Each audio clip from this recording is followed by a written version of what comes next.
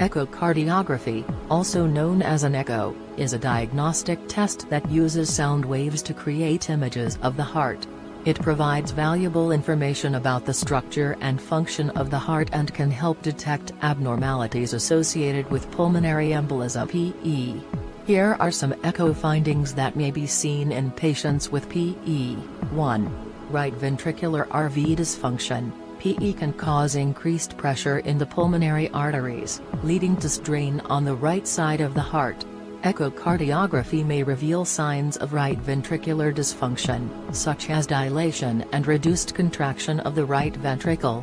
The septum, which separates the right and left ventricles, may also appear flattened or bowing into the left ventricle due to increased RV pressure. 2. Pulmonary artery hypertension, PE can result in increased pressure in the pulmonary arteries, known as pulmonary artery hypertension.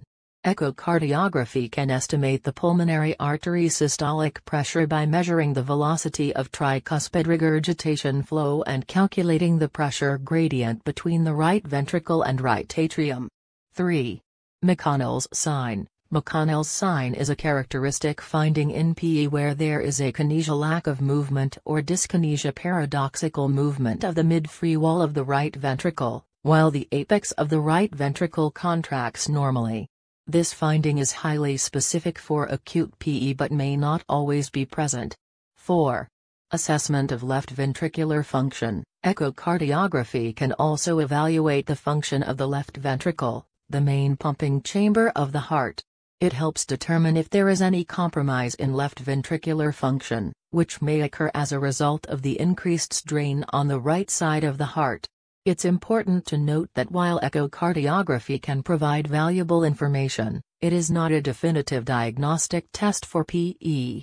Other imaging modalities, such as computed tomography pulmonary angiography CTPA, are typically used to confirm the diagnosis.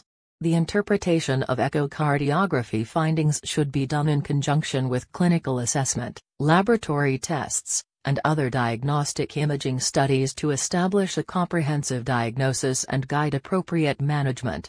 Thank you.